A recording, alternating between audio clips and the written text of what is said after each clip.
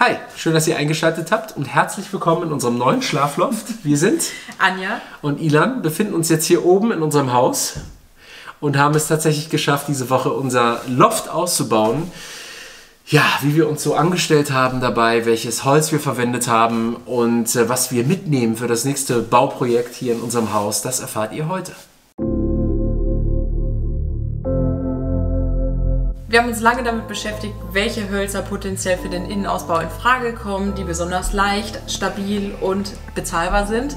Und eben nicht nur im regionalen Bereich geguckt, sondern auch was im Raum Europa angeboten wird und wurden auch von einigen Abonnenten, danke an der Stelle nochmal, auf das Holz Palovnia äh, hingewiesen, welches eigentlich ein Tropenholz ist, jetzt aber auch in europäischen Ländern angebaut wird. Mhm. Und ja, das war natürlich dann mit im Rennen super spannend. Ähm, Tja, es gab nur ein Problem, ne? Was denn? Naja, es gab keine Erfahrungswerte in Deutschland Ach, mit diesem Holz. Ne? Ja. Und das war eigentlich der Grund, dass wir gesagt haben, wir müssen jetzt einfach mal losfahren und Erfahrung sammeln. Genau, weil man findet sonst im Internet echt viele Tabellen zu Balsa-Sperrholz, zu äh, Bambus, zu Pappel. Ja, und zu neuen Verbundwerkstoffen. Darauf gehen wir im nächsten Video noch mal ein bisschen detaillierter ein und haben auch eine kleine Tabelle wieder vorbereitet, so wie ihr uns kennt. Heute geht es aber um das Loft. Also sind wir losgefahren. Mhm, genau, zum nächsten Baumarkt und haben uns vier Palovnia Leimholzplatten gekauft. Drei Platten mussten wir ein Glück gar nicht anfassen. zwei Meter lang und 60 Zentimeter breit. Und bei der vierten ist es so, da haben wir uns zwei mal 27 Zentimeter Breite zuschneiden lassen und wollten eben mit der Fassade abschließen, nicht mit dem Balken. Das heißt, der Zwischenraum zwischen Balken und Fassade sollte ausgefüllt sein. So haben wir dann eben jeden gemessen und 2 äh, mm Puffer eingebaut. Ja. Das wurde uns empfohlen. Ne? Genau, damit man eben im Nachhinein nicht so viel nachschleifen muss oder mit der Stichsäge nochmal ran muss. Da ist die Wahrscheinlichkeit einfach größer, dass es reinpasst und die Lücken sollten dann auch nicht allzu groß sein.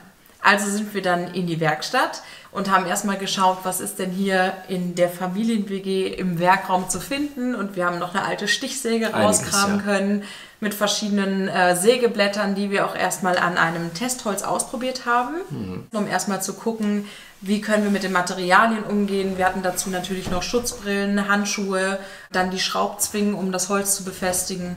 Wie wir dann weitergemacht haben, nachdem wir beide jeweils unsere Probeschnitte versucht haben, ist, dass wir mit einem Zehnerbohrer dann erstmal zwei Löcher vorgebohrt haben, um mit der Stichsäge besser reinzukommen und haben dann eigentlich direkt mit dem, ich glaube, Gärungsschnitt nennt man es ja, oder Schrägschnitt, genau, wie so auch immer, mhm. ähm, haben wir dann eigentlich mit dem Schwierigsten begonnen und das hat zum Glück ganz gut funktioniert. Wir mussten noch mal kurz das Sägeblatt wechseln ja. und dann passt es eigentlich, ne?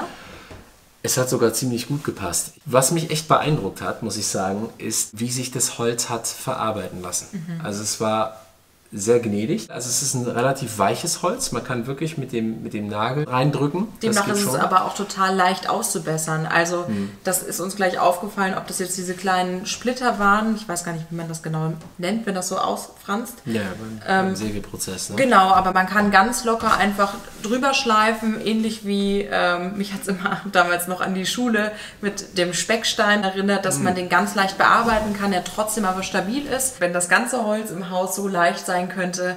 Du dachtest, du hast einen Flugzeugflügel in der Hand oder so. Es kam eine Windböe und du bist sofort davon gesegelt, ja. Zusammenfassend kann man sagen, es hat uns das Leben eigentlich sehr leicht gemacht. Jetzt geht das schon mal gut los. Wow. Also ich würde mal sagen, für das erste Mal, ich bin gerade ziemlich beeindruckt.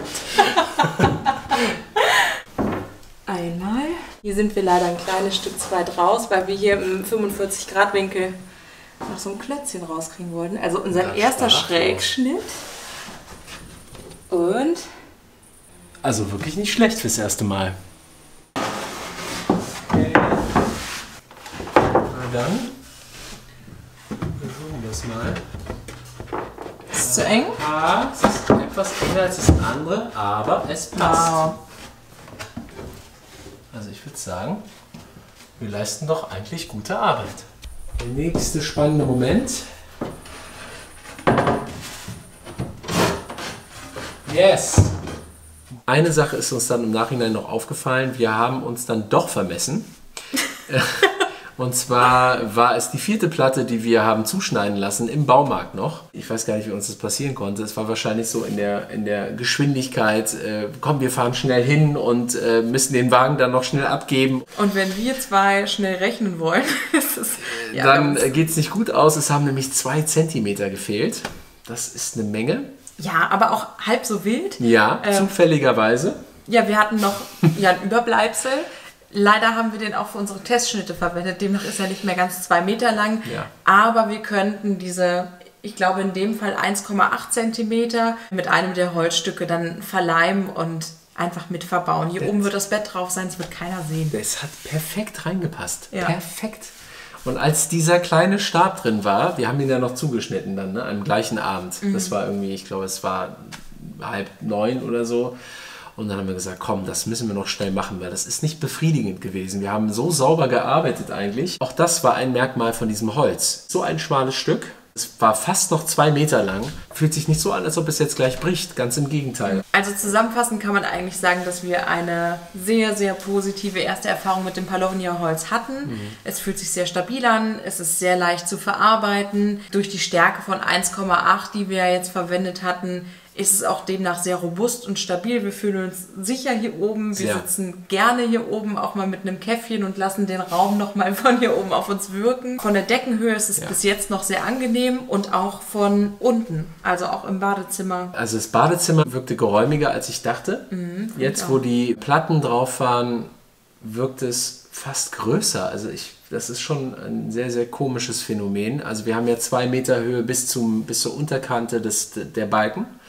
Und dann haben wir nochmal 7 cm Zwischenraum, dann, kommt ja, dann kommen ja die Platten, die Loftplatten. Das Holz ist jetzt noch nicht verschraubt. Mhm. Wir haben es auch noch nicht behandelt und es gibt mhm. auch noch ein paar Ecken, die wir auf jeden Fall noch schleifen möchten. Wir warten allerdings, bis unser Tiny House Bauer nochmal da war. Hier gibt es dann noch an ähm, ein paar Ecken was zu korrigieren und noch zu verbessern. Und da möchten wir einfach warten, bevor wir anfangen, hier Wände zu ziehen und zu schrauben. Aber wir werden weiterhin vorbereiten. Mhm. Das macht uns tierisch Spaß, auch jetzt den Fortschritt zu fühlen. Und ich muss noch eines loswerden. Mhm. Es fühlt sich so schön an, das Holz.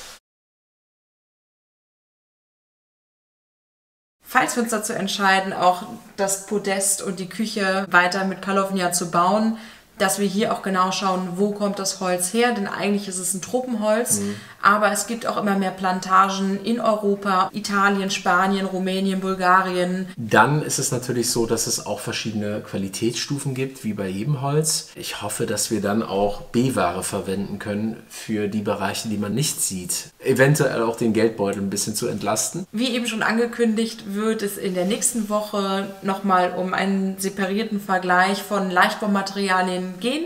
Wir finden das total spannend mhm. und hilft euch vielleicht an der einen oder anderen Stelle auch weiter. Parallel dazu werden wir dann weiter unser Podest konstruieren, schauen, wie können wir am besten die Längs- und Querstreben setzen und mhm. Schubladen einbauen. Freuen uns da über Tipps, wenn ihr welche habt. Gerne. Und wünschen euch einen schönen Sonntag. Abonniert gerne den Kanal, oh, wenn ja. ihr wissen wollt, wie es weitergeht. Und äh, ja, wir sehen uns dann in Nächste einer Woche. Woche. Tschüss. Tschüss gleichzeitig, sag mal, wir sind doch keine Zwillinge.